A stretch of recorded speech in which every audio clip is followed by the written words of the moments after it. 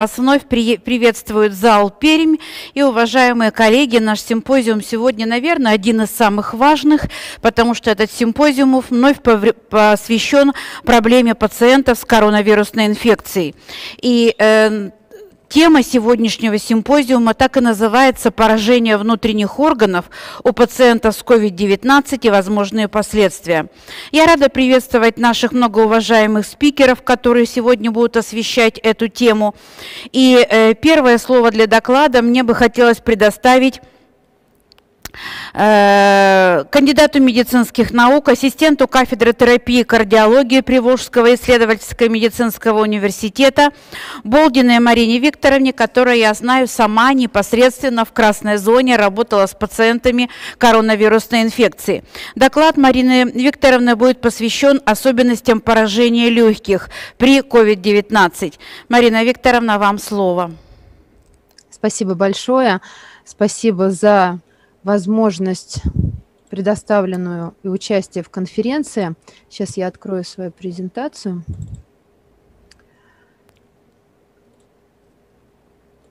Так, и хочу осветить э, добрый день всем уважаемые коллеги. И я, как доктор-пульмонолог, хочу осветить э, особенности поражения легких при коронавирусной инфекции. А, ну, на сегодняшний день мы четко с вами знаем, что вирус проникает в клетку, если на поверхности этой клетки имеется два рецептора, два таких трансмембранных белка, как трансмембранная сериновая протеаза S, которая отщепляет шип от вирусной частицы, и основной рецептор, с помощью которого вирус проникает клетку, это рецептор к превращающему э, ферменту 2. Э, и, конечно же, э, эти клетки имеются в дыхательных путях, как в верхних дыхательных путях, куда сначала э, проникает э, SARS-CoV-2, так и в нижних дыхательных путях, в частности в легких, в частности в альвеолоцитах второго типа. А, повреждая альвеолоциты в легких, вирус вследствие своей репликации начинает повреждать альвеолоциты, и, в общем-то, а, это способствует высвобождению молекул, таких как АТФ, нуклеиновые кислоты, олигомеры, которые начинают распознаваться клетками дыхательных путей. И эти клетки, эпителиальные клетки, эндотелиальные клетки, альвеолярные макрофаги, они привлекаются в эту зону воспаления, активируются и начинают синтез провоспалительных цитокинов и химокинов, таких как интерлейкин-6, так, таких как белки воспаления макрофагов.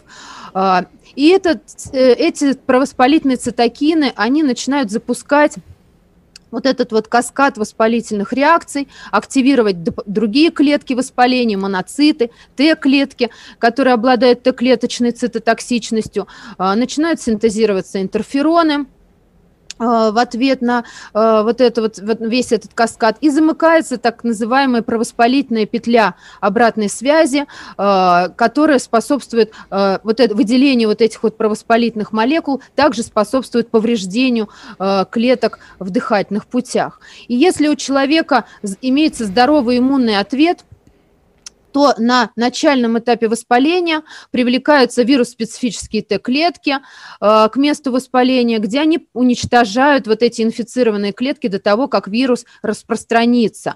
Альвеолярные макрофаги распознают эти э, клетки, э, нейтрализованные вирусы распознают, пытаются их очистить путем фагоцитоза. И, в общем-то, вот эти процессы, они приводят к избавлению от вируса, к минимальному повреждению легких и к выздоровлению. Однако, если у пациента имеется дефектный иммунный ответ, если у него э, высокая э, вирусная нагрузка, то происходит дальнейшее накопление вот этих иммунных клеток в легких, э, происходит гиперпродукция провоспалительных цитокинов, и в конечном итоге это повреждает инфраструктуру легочной ткани и может развиваться, приводит к развитию острого респираторного респираторного дистресс-синдрома. И Конечно, мы получаем, что, э, в общем-то, при вирусном повреждении легкие являются первым органом, которые повреждаются. Однако мы видим у пациентов и полиорганное повреждение.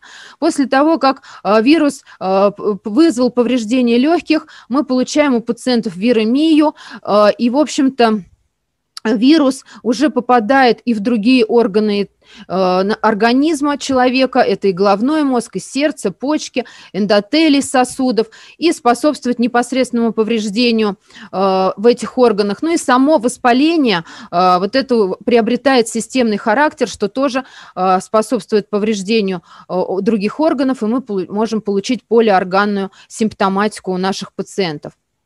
И, в общем-то, вот, такую, вот такая вот схема а, прогрессирования вот этих проявлений коронавирусной инфекции, вот это пик, первый пик – это вирусная нагрузка, да, которая непосредственно а, в легких имеет место быть. Дальше происходит запуск а, вот этого уже, можно сказать, аутоиммунного воспаления, да, и а, повреждение непосредственное э, вирусом эндотелия, гипоксия, само воспаление приводит к развитию коагулопатии. И, собственно говоря, все три вот этих механизма мы видим и в легочной ткани. А, а, если мы посмотрим на анализ аутопсий э, пациентов, которые погибли от коронавирусной инфекции, то более ранние публикации показывают, что действительно у пациентов имеется диффузное альвеолярное повреждение и микрососудистые тромбоэмболии. Еще одно наблюдение, тоже э, анализ аутопсий, также нам говорит, что э, действительно имеется диффузное альвеолярное повреждение, и отличительной особенностью это является COVID-19 эндотелиальный сильное повреждение в легких, распространенный тромбоз с микроангиопатией. И этих пациентов сравнивают э, с изменениями в легких ну, пациентов, которые погибли от гриппа H1N1. И что отличает э, повреждение легких при коронавирусной инфекции, это э, альвеолярные компилярные микротромбы, и они встречаются гораздо чаще у пациентов с коронавирусной инфекцией. И, конечно, готовя на свой доклад, нельзя не привести и не остановиться э, на э, очень огромной работе наших э, патоморфологов, которые проанализировали 543 аутопсии Наши ведущие патоморфологи создали нам такой атлас патологической анатомии легких при COVID-19, где, в общем-то, э, описано очень подробно изменения в легких, которые развиваются на фоне коронавирусной инфекции. И если посмотреть на макроскопические изменения, то легкая, плотная, без, большей частью безвоздушная – темно-вишневого или красного цвета с участками атолектазов. А, конечно, а, такое легкое наводит на мысли, эффективно ли при таком легком искусственная вентиляция легких. Да? В, этом, в этих легких очень много сливных кровоизлияний, геморрагических инфарктов, а, много облитерирующих тромбов ветвей легочной артерии и вен различного калибра.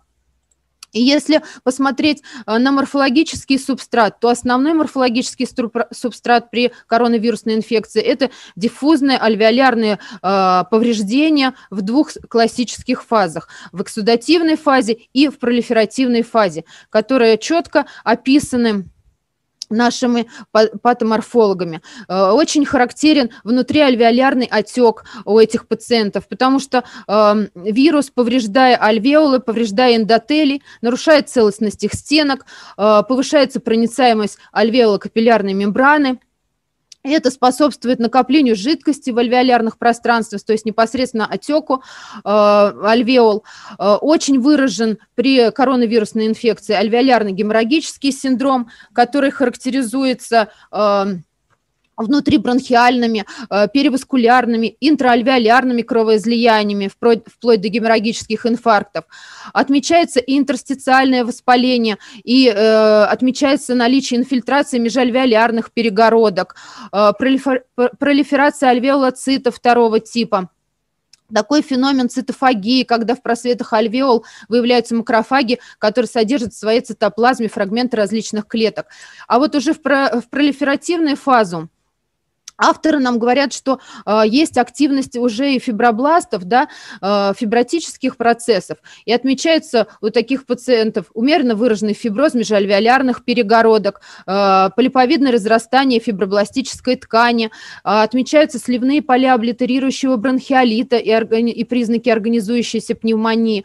И также... Э, практически у всех пациентов прогрессирование тромбоза в микроциркуляторном русле и в ветвях легочной артерии и в венах различного калибра.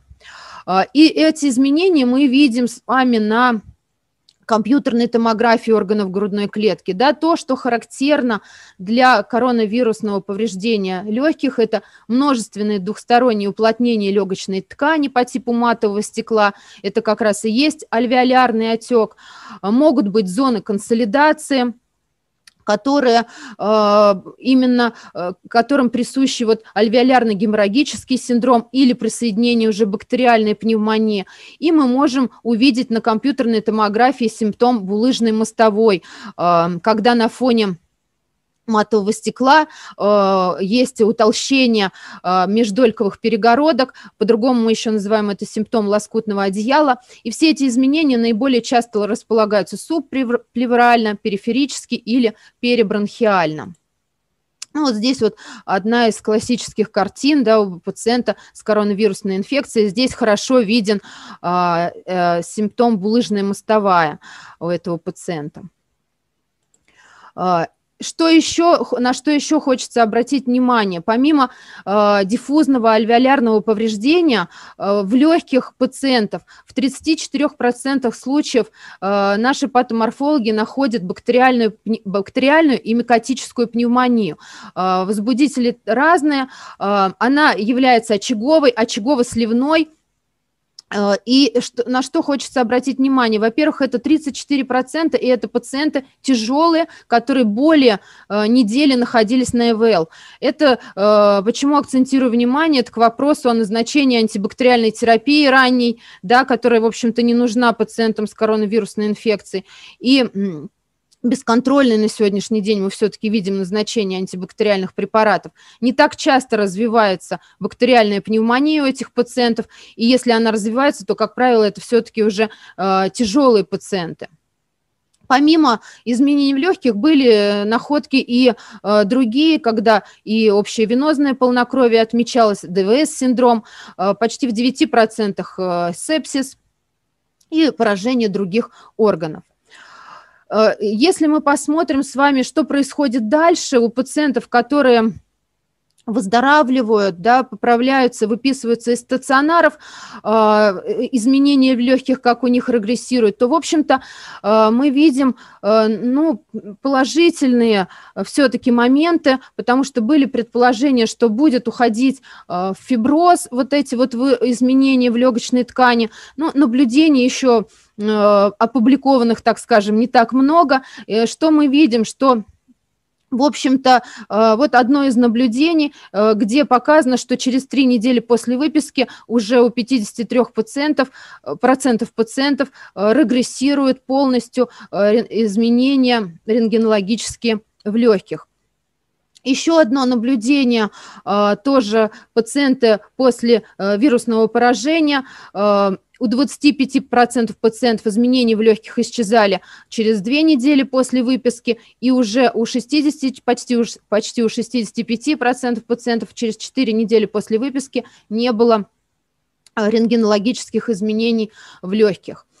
А, ну и завершая вот свой короткий такой доклад, хочется еще раз сказать о том, что легкие, в общем-то, это первый орган-мишень, да, который поражается при коронавирусной инфекции. И основным морфологическим изменением является именно э, вирусное, вот это диффузное альвеолярное повреждение. Ни, никак не э, бактериальная инфекция, да, это вирусное диффузное альвеолярное повреждение, характерное со своими характерными двумя фазами, и очень часто оно сочетается именно с альвеолярно-геморрагическим синдромом, э, бактериальная пневмония, э, по данным, по крайней мере, патологоанатомическим, отмечалась в 34% случаев. Конечно, возможно, эти цифры отличаются, это требует еще дальнейшего изучения, а вот исходы, мы тоже, исходы этого вирусного э, поражения должны наблюдать э, за пациентами